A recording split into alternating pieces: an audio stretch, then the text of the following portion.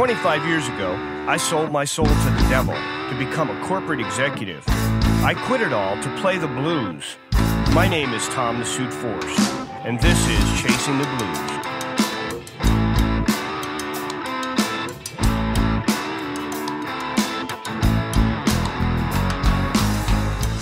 Hey, everybody.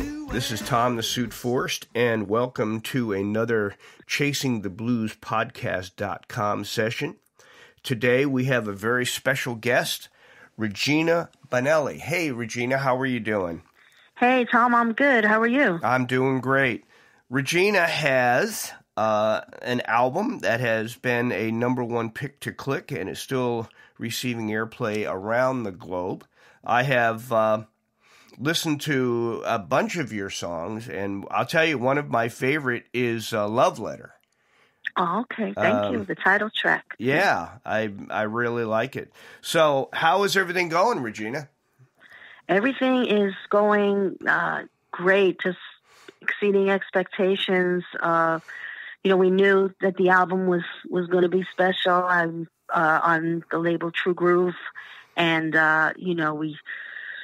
We've been working on it and have working with amazing producers, Tomas Doncker and uh, James Dellatacoma, and I got uh, great, great musicians on the record. I have um, Kevin Jenkins, who plays uh, bass for Shemekia Copeland for many, many years. Mhm. Uh, he also wrote two of the songs. I have Nick Rolfe, who is Aretha Franklin's organ player and keyboard player for the last four years.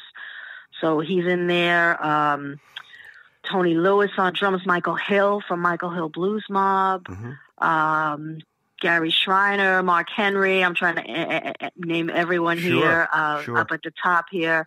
Um, I have um, great young player from Finland, uh, pedal steel. He plays a gospel pedal steel. His name is Artur Urinen.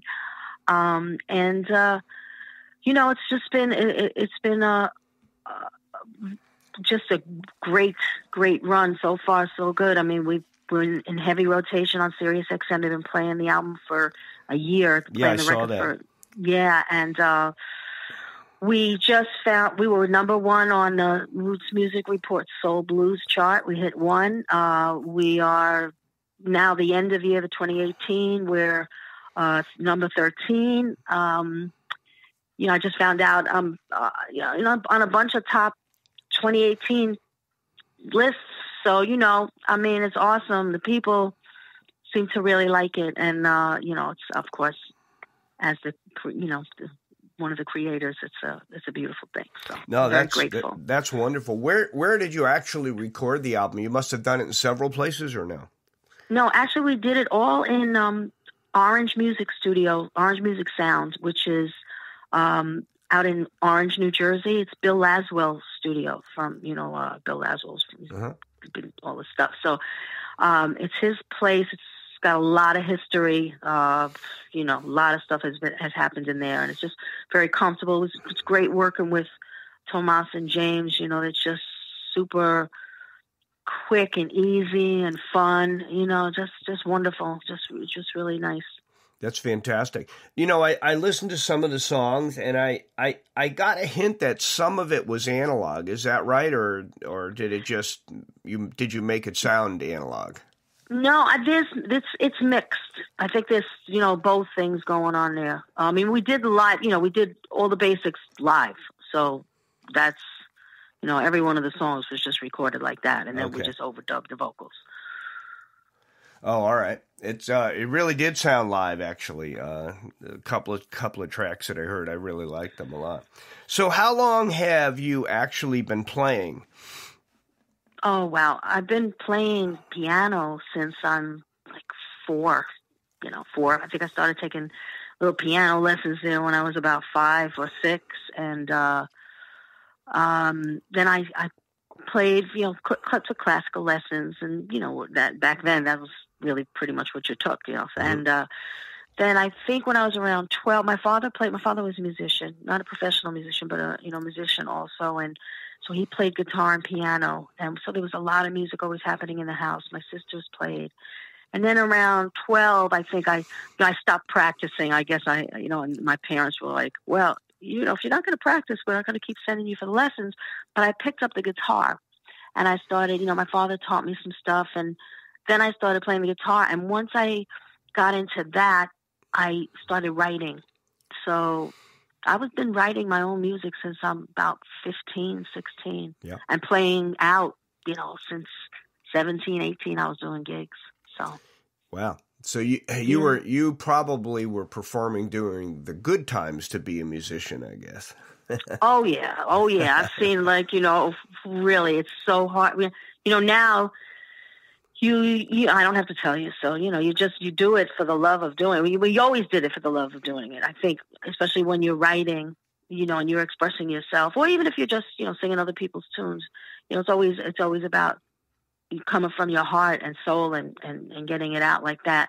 But at least you could make a living, you know, and and especially selling records and stuff. So that's been, you know, even my kids. I mean, I have my kids are 21 and, and 24, and when they when the album came out, I said, you know, did you download the album? Did- You know, because it's available on iTunes and all the all the streaming platforms and all that stuff. So uh, Amazon and I said, did you download the album?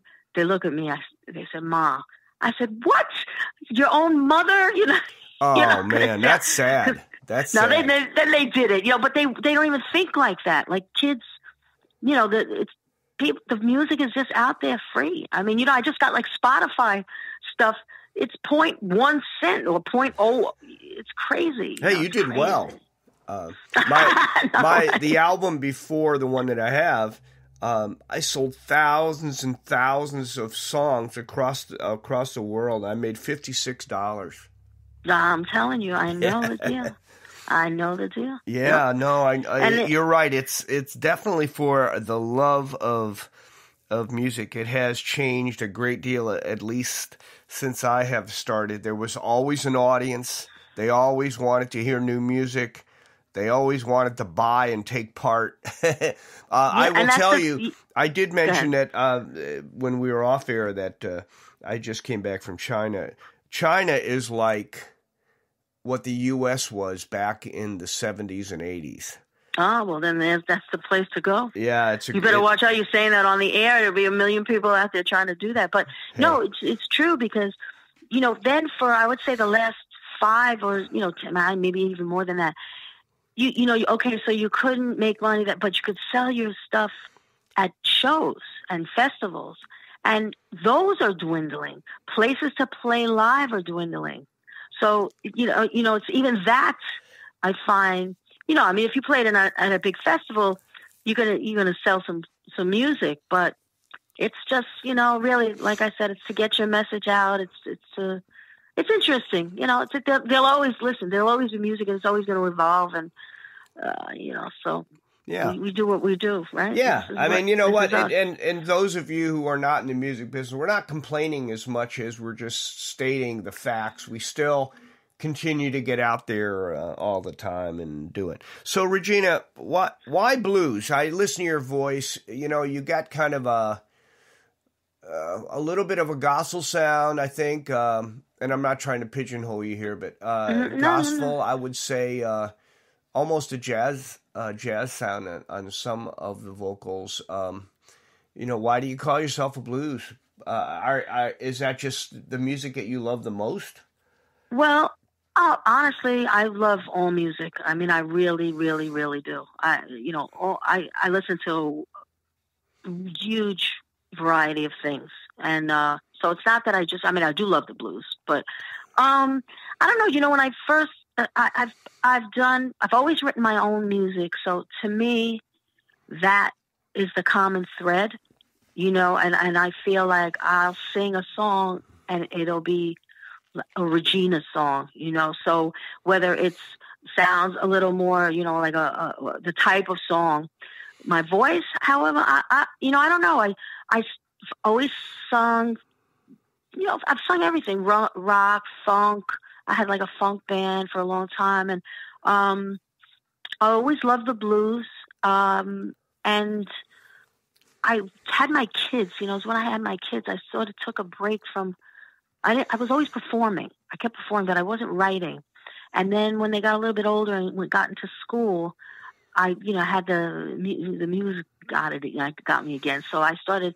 I said, "What am I? You know, what do I want to do? What do I want to do right now? You know." So I think I just was listening to a lot of blues at that point, and I had a friend, uh, rest in peace, this friend that I, I, I worked with, and he said, you know, you should, you sound so blues. People always say you sound bluesy, you know. So, so I started listening to that stuff, and I said, you know, I'm going to write some of that. And then I hooked up with Michael Hill. I met Michael, who who produced and recorded my first album. So that's how I got in the blues world, you know. Mm-hmm. So, so yeah. So I, I, I would, I, I feel like I'm um you know, I'm I like to think of myself as as a you know unique. Like my you know I'm I'm my my I do my thing, and then it, you know it goes a little bit here, a little bit there. Did you do you uh, now? I saw your live uh, cuts, uh, and I only saw keyboard. Do you actually uh, use a guitar live? I don't not not right now. Not for this particular. I haven't done that in a while. I, I am gonna get do that though. I'm a I'm a rhythm player. You know, I, I can't. I I mean, I could play like a mild lead, but you know, I can't. I don't call myself.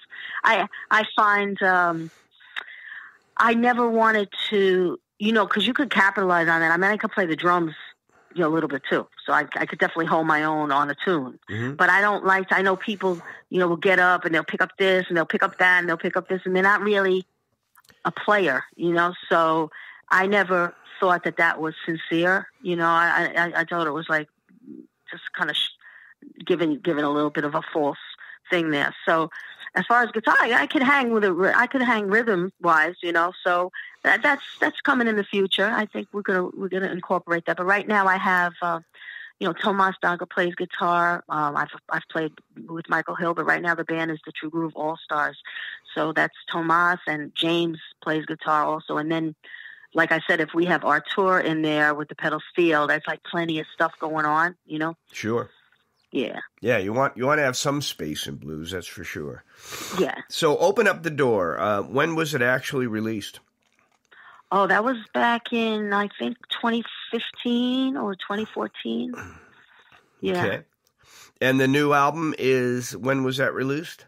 Love Letter was just released October 26th, my birthday. So it's only been, you know, it's charting on all these things and getting these top, you know, airplay stuff, and it's only been out for two months. Um, the, the, single came out in in January, mm-hmm. and and uh, Sirius has been playing uh, "Don't You Put Your Hands on Me" for ever. That's fantastic. You know? That's a that's thank a great yeah. that's a great one. Yeah, thank you so much. Yeah, thank you so much. No, I, I saw that and I was um, I thought that was really exciting. Well, that you know that's really uh, I like to write. You know, as I said, coming from uh, my heart and uh, coming from a place of you know certain experiences and and uh, and that's about domestic violence and so whenever I play that song uh, I get a lot of you know people come up to me afterwards and they mostly women you know because that's mostly who you know but it's it goes both ways and but it's very it's, it's very um powerful I think uh message so that yeah, means a lot to me. Yeah. That's a I think that's wonderful. You know if I have any negativity toward blues and I probably shouldn't say this out loud. Um, I, I do get a little tired of, and I've mentioned this in, even in blues forums. That I do get a little tired of, hey, I left, I left my baby, and then you repeat, hey, I left my baby. You know, um, right? It's nice to have some lyrics that are uh, content based, have some sort of meaning or or really story you can grab onto. Yeah, yeah, I agree. Yeah, I that's great. I I I think that's fantastic. Um, let me ask you this: You're you've been playing since you were four or five years old. Uh, started, uh, you know, re- playing very young uh, in your you know fifteen early teens. Who who do you think? You know, I know you said Michael Hill was definitely somebody that you. Uh, you know, started out with, but when you look back at blues people that are the pretty much the mainstays. Do you have somebody or anybody or group that you say, "Wow, man, th- th- these people or this person are really my influence"? Well, I mean, there's so many great, you know, musicians, blues and and other genres that I'm. I feel like I'm influenced by. You know, all the all the old the soul singers. You know, obviously Uh, but I, I think as far as in the blues genre uh, specifically, I always related to Big Mama Thornton, uh, and I had the I was snuck into the. She was playing around, you know, in uh, the village, and um, friends of mine used, used to tell me about her and about um oh my God, Sonny Terry and Brownie McGhee. You know, they used to come through, and um, I had the pleasure of seeing them too. So and and I feel like she, you know, there's well, I mean, the blues started right with the tw- in the twenties. It was all females, but then it, it's you know it's a, it's a it's a man's club, you know. So when when females come in, and I think especially back way back, you know, when she she started what in the fifties or something like that, in sixties, and so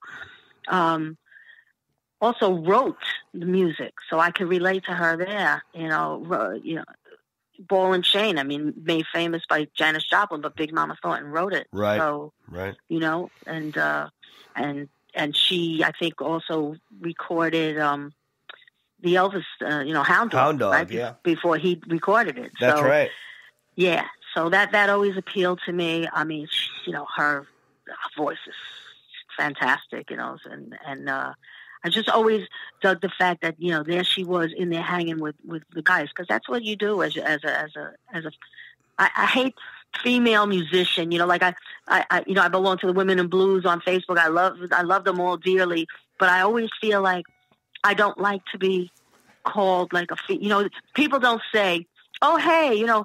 It's it's it's that male guitar player, BB King you know, but they'll say, "Oh yeah, it's that female guitar player, uh, you know, Joanna Connor or something like that." So, I I hate that, you know, like I just I, I dislike when that when when we have to gender the females. But that being said, you know, it's it's cool that she's you know she's in there, and that's what you do when when you're playing because it is mostly a mostly a male dominated field. So you know, you become you're one of the boys. For, yeah, know, no, maintain I, I, your own. yeah, I don't, I don't disagree, and they're definitely standouts. Um, I'm, I'm starting to see, and I've actually interviewed several uh, more.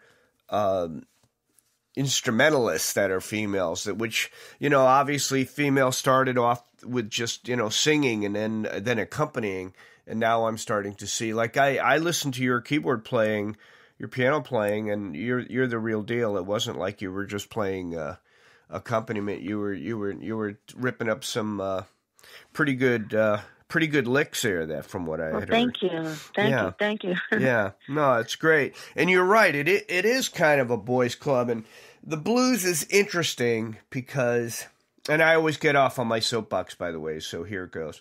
Um, the blues is interesting because they are so traditional and you get a lot of people in the blues who don't want to change what happened in 1926. You know, right. they don't want to. Right. They don't want to move from that. And I, I'm I'm a blues rocker, so I'll okay. get somebody to say, "Man, that was really great," but I'm not sure that was blues. Right, well, right. I'm, well, I, yeah, I mean, yeah. Yeah, you know, and I'm I'm sitting there going, "Really? It's so hard. Aren't you a little hard pressed to say anything from the United States is not blues. I mean, yeah. Know? Well, hey, look. I mean, you know, blues is is African American music coming out of you know that experience, right? Right. So that's really, you know, that's where it, it started. And then if you want to go, really, I mean, all you know, Mother Africa, you know. So, but I think that to me, because my my music is obviously not straight blues. You know, it's it's it's blues influenced, but it's it's R and B. It's it's you know, like you said, a little gospel, a little this and that, a little rock, whatever. But I think that you know everybody's entitled to the. To, you know, that's the thing about music. It's it's an an art. It's it's it's subjective, and it's it's it's in in in good ways. So if people like music from the 20s, blues from the 20s, or they like blues from the 60s and the 50s, you know, you could either go listen to those original recordings or, you know, there are people, I guess, that feel, you know, that they want to preserve that, which is awesome. Or they they want to, you know, one thing I don't really care for is when people take, you know, modern day uh, artists take a sta- a song like a classic, and then they just change the lyrics a little bit, and it's really not. It's nothing creative going on there. I mean, it's just you might as well listen to the thrill is gone rather than listen to some new person you know change some lyrics up and the, the song sounds like the thrill is gone. I, I you know Yeah. so that to me i don't i don't care for but if you want to people that want to preserve the original music and and that's cool but I, at the same time i feel like everything grows you know everything grows. Oh, And- I, and- I'm I'm with you, and I I have the same problem. Whenever I hear the same song done. I mean, if you're in a cover band, I get it, but right right you know, right I get that. But or you're, if you want to play right go ahead i'm sorry no, no, no. I, I, I was just saying we agree that it's really about the creativity. Even if you're doing someone's song, bring your own heart and soul to it. right Why copy it? You might as well hear the real thing. You know. right Yeah, Or you know, I- I was thinking- different you know What's that? I said do something different. You know, things we don't listen to. Listen, when you put on the radio, you don't hear big bands now.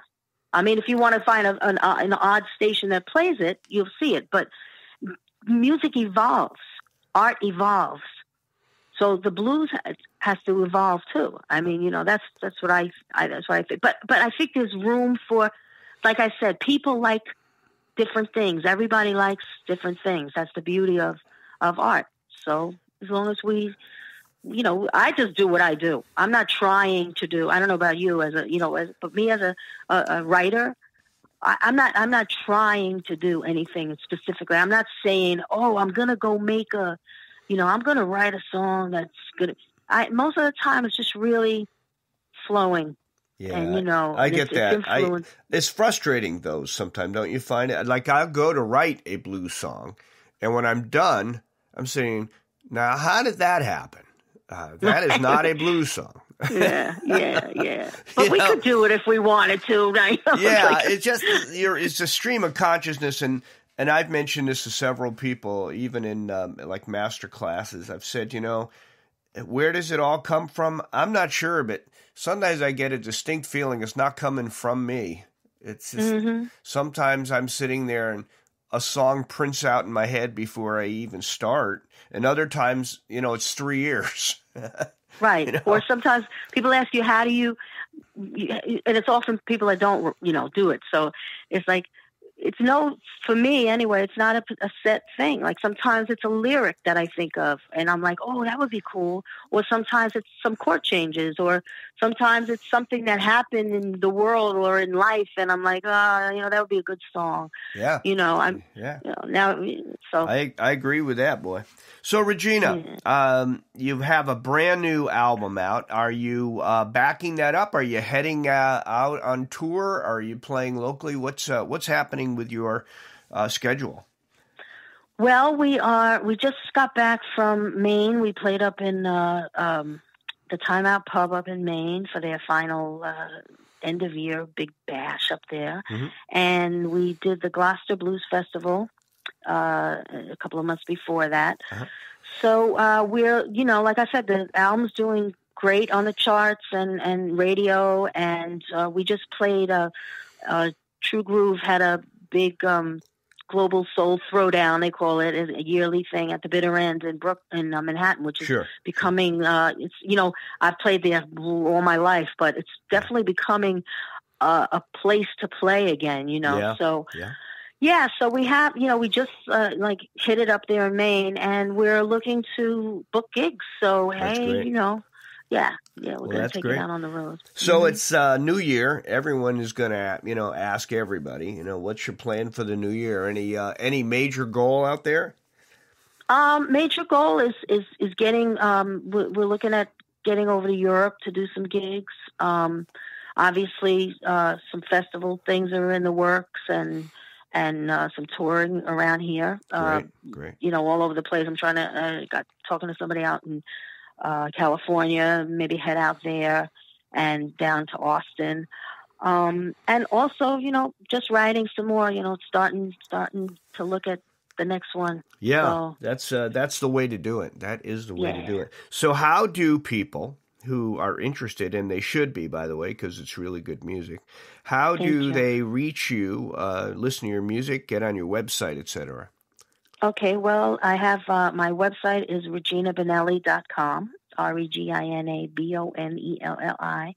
And um, my Facebook, you could go on my Facebook page. I'm on Facebook. I'm on Instagram. It's Regina Blues Soul, B L U E S S O U L. You can follow me on there.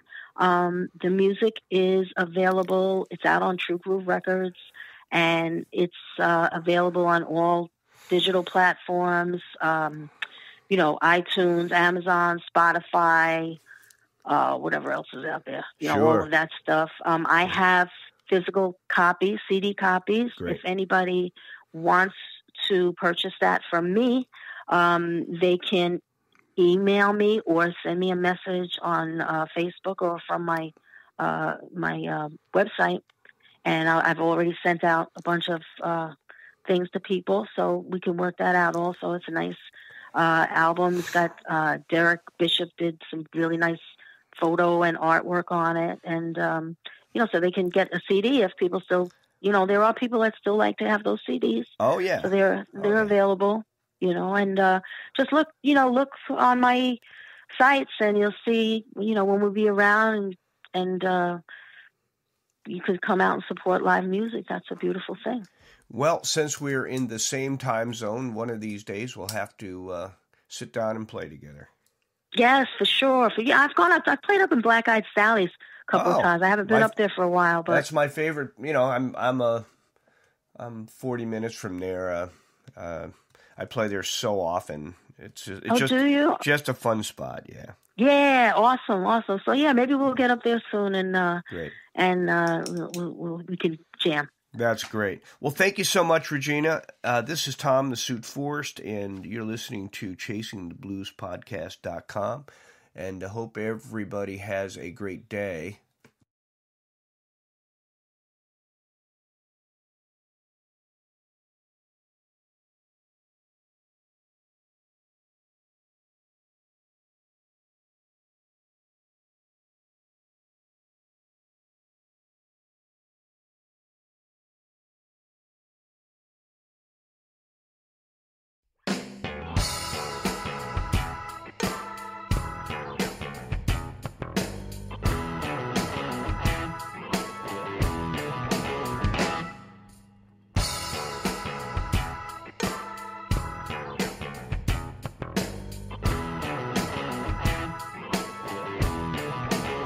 radio.com. And connect with me on Instagram, Twitter, and Facebook at Tom Forst. You can find my music, tour dates, merch, and more on TomTheSuitForst.com. Thank you for listening.